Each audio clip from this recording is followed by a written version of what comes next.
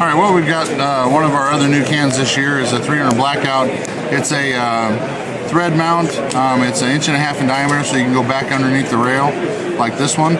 Um, it's got, uh, like our, our uh, 22 can, it's got the new emblem on the inside, on the end cap, and then a 3H ratchet drive on the end, providing that you get the tube stuck.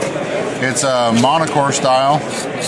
Um, we're calling that our new G-Core. Um, it's different enough that it's uh, not your normal monocore.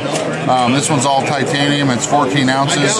Um, decibel reduction is um, uh, in the 30s and uh, it's uh, hearing safe with both subs and supers. It's six inches long, um, and like I said, goes back under the rail.